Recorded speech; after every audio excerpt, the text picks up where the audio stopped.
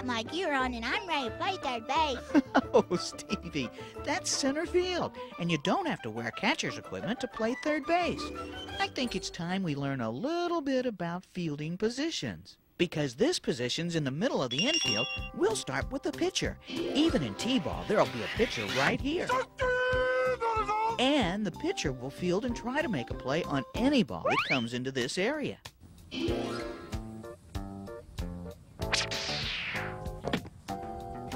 To be pitcher. I want to be pitcher. Hold on, we still have eight more positions to go.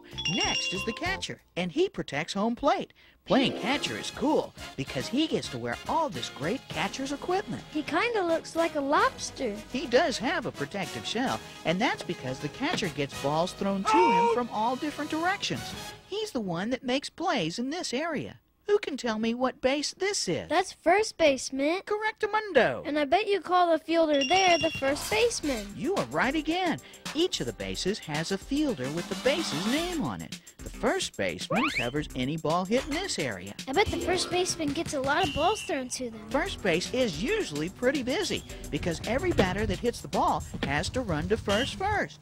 They might be thrown out before going to second, third, or home, but they have to start at first. And the team on the field wants to get three out so they can have their turn to bat. Yes, they do. So each of the other infielders are thinking when I get the ball, I'm throwing it to first.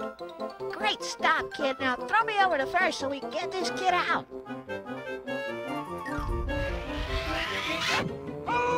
Yeah, who's the ball? Who's the ball?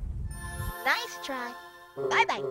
What's playing second like? Well, the second baseman plays over here between second and first, and they cover any ball hit in this area. Whoa, that's a big area to cover. The second baseman must be really fast. They are. And on the third base side of second base is another player who is like an extra second baseman. They are called the shortstop. The shortstop not only has to be as fast as the second baseman, but he also has to be able to throw a whole lot farther. It's smart that you noticed that. The throw from second is an easier and shorter toss than the one from the shortstop. These two fielders work close together. Any ball hit on the third base side of second is for the shortstop to field. The second baseman covers second. The second baseman and the shortstop also work together whenever a ball is hit to the outfield. When two or more teammates handle the ball like this, it is called a relay throw. The last infielder is the third baseman. They cover the balls hit in this area. And when a runner's on first and second, there's a force out at third. For a force out at third, the third baseman either has to catch the ball and touch third or stop the grounder, then step on third for the force out. Also remember, if there is a runner on second but not on first, there is not a force out when he runs to third. You have to tag him out with the ball in your glove.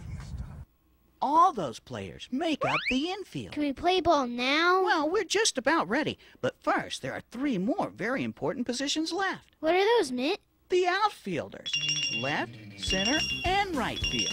These are very important positions. Each one of these players has to field the balls in these large areas.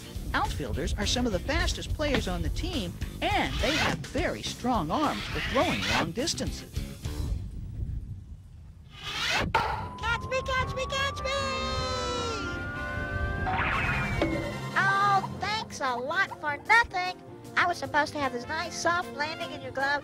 Didn't you read the script? Hey, somebody get a stunt ball over here. I'm not doing this scene over again until somebody teaches this kid how to catch a good. How are supposed to get in the glove and then he's reading the script and I don't know what all And catching fly balls are fun too. It can be fun catching fly balls, but until you learn, you should always use a softer ball, like the tennis and wiffle ball we played catch with earlier. Once you've got the hang of it, then we can use BB's friend's real baseball. Catch me, catch me, catch me!